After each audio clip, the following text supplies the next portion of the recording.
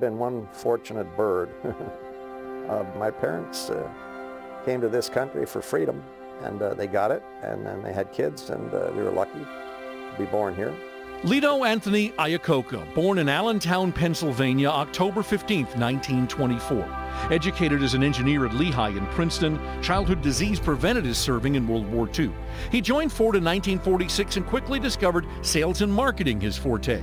A fast rise through the ranks to Ford Division General Manager brought him to his first historic automotive hit in April 1964, the legendary Mustang.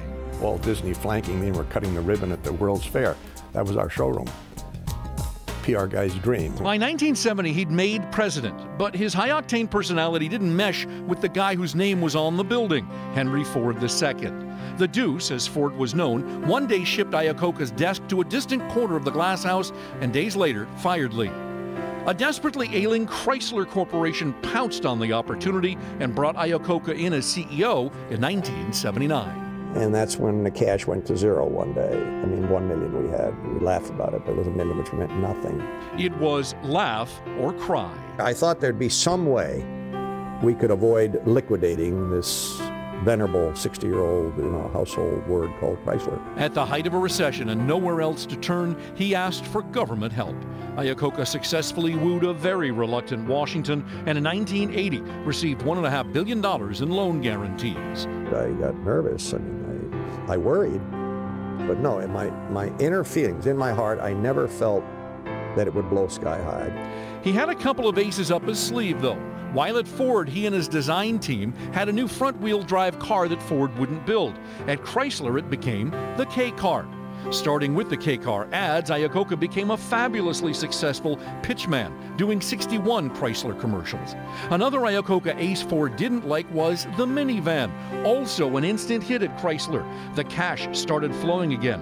Chrysler paid back its bailout seven years ahead of schedule. On the strength of the minivan alone, Iacocca started building the Chrysler Tech Center. The cash cow here for 20 years. It built this place. By the way, this was 1.5 billion when we didn't have it. Iacocca took a lot of heat in the nine years it took to build the original Palace of Auburn Hills. The press was mean and dirty. He said he's building a white elephant, a monument to himself. He told Local 4 when he retired in 1992 that battle was his toughest and his crowning achievement. The guts to stick that out when everybody was beating me over the head to not do it yeah. In 1995, his local popularity took a hit when he joined Las Vegas billionaire Kirk Kerkorian to try and buy Chrysler in a hostile takeover.